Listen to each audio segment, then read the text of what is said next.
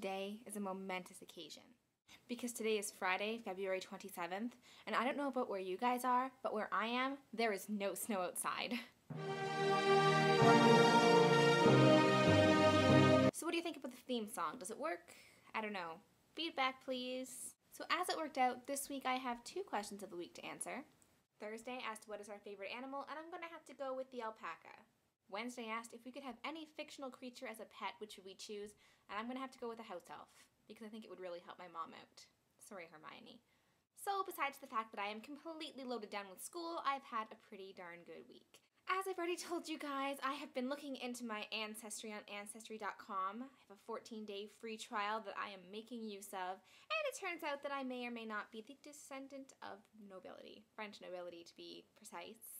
At first, I thought I was a direct descendant of these people, but it turns out that I'm really only related by marriage. Nevertheless, I'm still related to Etienne Marcel and Philippe de Vitry. One was the provost of the Merchants of Paris, the other was a very famous composer, so it's pretty cool. And there's a slight chance that I also might be maybe related to William the Conqueror, who was a king of England and of France. So from now on, you can just call me Lady Jessica.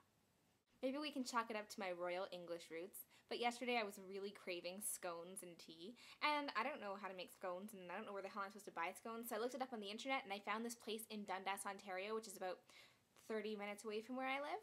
And so I drove there and bought myself scones and Devonshire cream, which I only ever get to really eat when I go to, you know, England.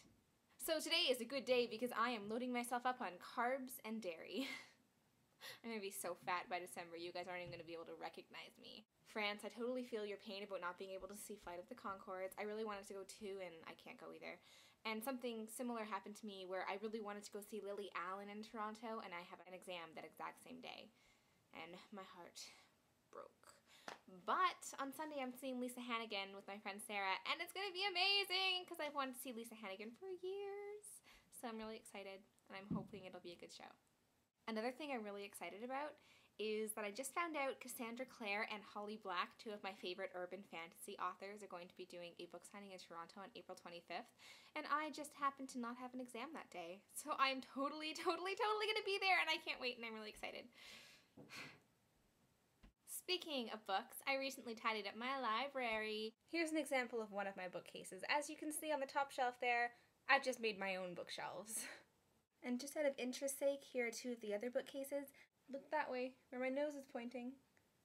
There's a space there. And that space needs some filling. Thanks for the advice, Katie, but I think I'm just gonna go crazy and buy as many books as I can. I mean, I'm not gonna be working at a bookstore for that much longer. I'm gonna have to join the real world and get a full time job, so I should just use that discount to my advantage. Last night, I found a Maureen Johnson book for $2. How could I pass that up? Stupid ass New Year's resolution's not gonna stop me anymore.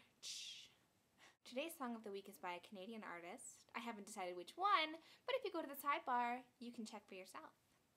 Anyway, I think that's all I have to say for today. So I hope that everyone that's sick gets well soon, and everyone that's getting sick stops getting sick, and I hope school is easy and everybody gets A's. And Cynthia, I will see you on Monday.